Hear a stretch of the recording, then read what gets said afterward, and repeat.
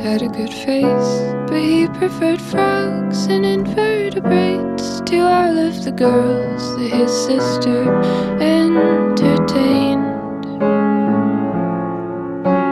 Joe was never afraid.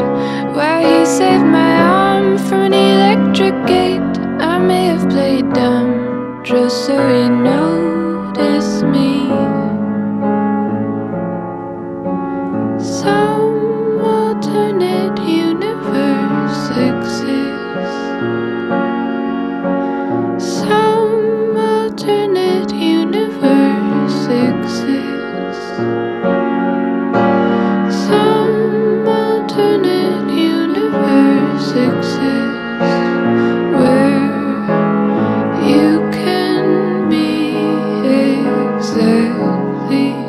who you dreamed.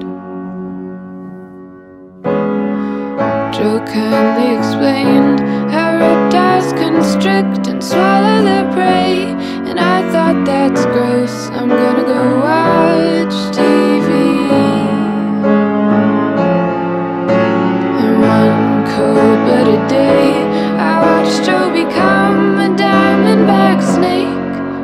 the things we do to find our true family.